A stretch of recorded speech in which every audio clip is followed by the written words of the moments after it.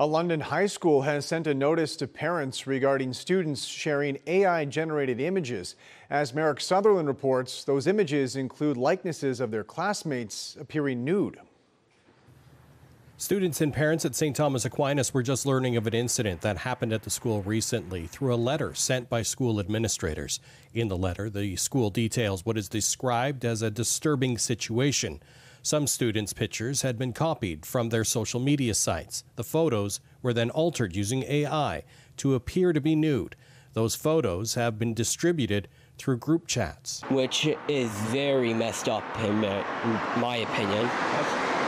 And uh, I've heard I've heard a lot of talk about it recently, and with parents, counselors, which yeah, it's a big problem. The letter sent home to parents also indicated the London police were at the school Tuesday investigating the situation. London police could not provide comment on the letter or the situation. However, the London District Catholic School Board spoke about the efforts that are made to teach the ethical use of technology. When we talk about AI um, through that lens, we talk about how um, it's very very powerful uh, and it can be really really useful but it also uh, has some tremendous downsides we need to be wary of. Kaitlynn Mendes is an associate professor of sociology at western university. She says this trend is something that has become pervasive in the last three to six months including a similar incident in manitoba last month. It is really worrying about how people's privacy is being invaded their bodily autonomy autonomy is being invaded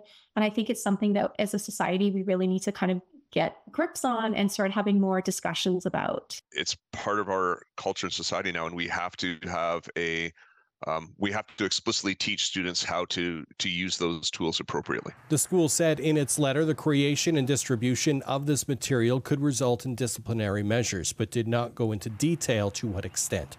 Marek Sutherland, CTV News.